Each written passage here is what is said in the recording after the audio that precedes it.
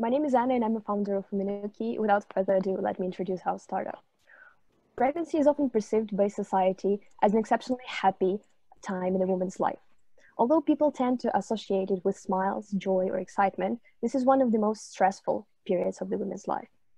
Pregnant women are often overwhelmed with the responsibility of eating well, staying healthy, and emotionally positive. But at the same time, they're constantly bombarded with some really general information that does not respond to their specific needs.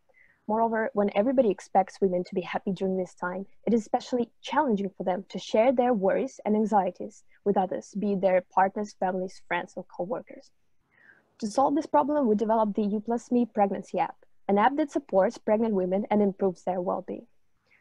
Uh, our services first include a health tracking algorithm based on the novel AI machine learning approach that can monitor women's biological data, providing personalized insights related to a woman's emotional stability, symptoms, exercise, stress, and sleep levels, and give advice for improving uh, well-being.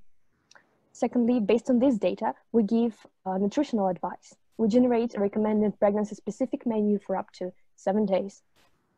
We also provide emotional support the app is done specifically for pregnant women to create and cherish the sense of community and mutual support. We encourage the participation of the woman's partner during the whole pregnancy period by sending notifications and advice on what kind of support is needed. Finally, all of the features are gamified and connected with a little baby character in the app who grows and develops as a woman's body changes. The normal nutrition balance and normal health status were defined together with the gynecology and obstetrics department of Kyoto University and with the Melody International company, a developer of fetal monitors. As for the market, the overall femtech market, which covers uh, all of these things and more, is said to be worth $50 billion by 2025. Statistically, the potential market size reached uh, 900,000 pregnant women in Japan and 3 million, 3 million women in Brazil. We conducted a survey of 100 pregnant women, uh, both in Japan and Brazil. 95 95% of them experience stress and anxiety during pregnancy, and 91% would use an interactive and personalized pregnancy app to guide them. That makes it up to 3 million, nine, around 900,000 potential users in these countries. We also plan to extend our services to developing countries in Africa and Southeast Asia to promote health and well-being for all, as in the SDGs uh, 3, and to contribute to the reduction in the maternity mortality rate.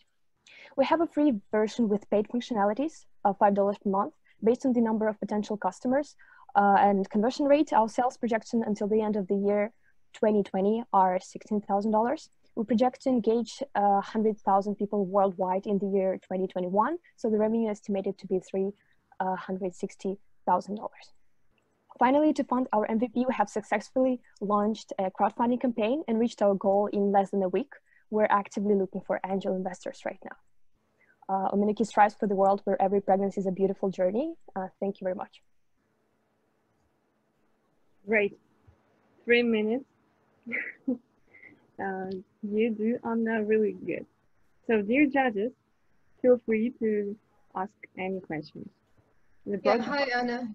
I'll ask the first question. So I understand that you're making the app, but are there any sort of wearable devices or IoT components that you're building to support this and supplement it? Uh, first of all, we're working with Apple Watch and Fitbits right now. Uh, but to use this app, it's not necessary to have hardware for now.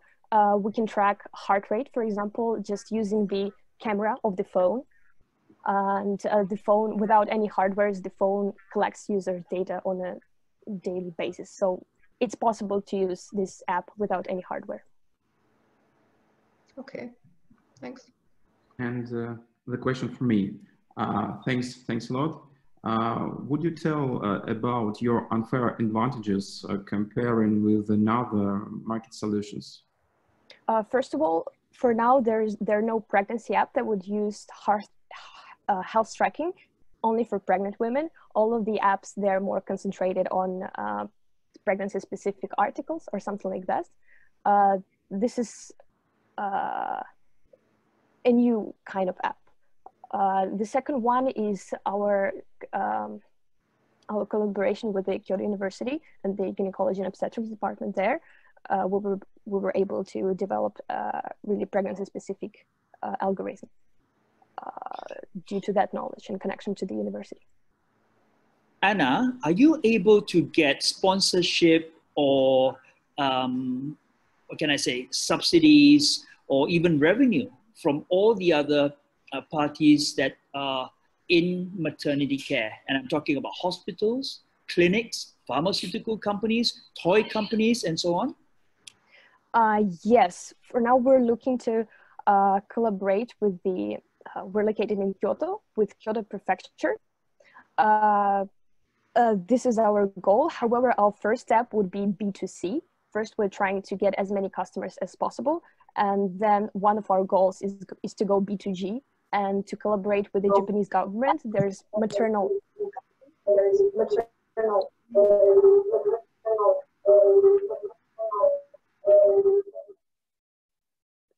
Sorry if this was a question. I wasn't able to hear.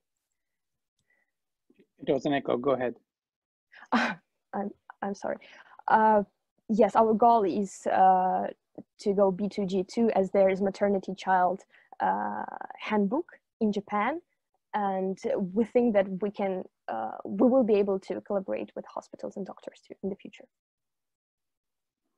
Thank you, Anna. Uh, I have a question, Anna, uh, and uh, this is based on I, I just uh, became a father like two months ago, uh, and uh, so you said there are no existing apps. I be, I, I, would disagree to that because we used apps throughout the pregnancy, and some of them did have heart rate monitoring, etc. so maybe it's not localized to Japanese market, but apps do exist.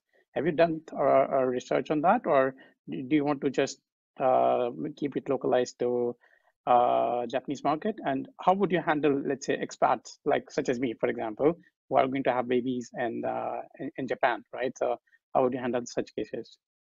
Uh, first of all, I would say that there is no um, automatic input of data. All of the data is it's possible to input it uh, manually, and there is no health insights uh, for the apps that are that exist in the market now. That's what I meant. Uh, for the second part, could you please repeat the question? I did not really understand. Yeah, I, am asking like, are, you going to focus only on uh, Japanese uh, uh, speaking uh, members, or are you going to support also expats living in, Jap in Japan, like English speaking guys, or etc.? Since first physically all of the members of the team are located in Japan for now, and we were admitted as um, we're a cohort member of uh, Japanese incubator. We started, we're starting with Japan and we're focusing on the Japanese market now. However, our vision is to go global.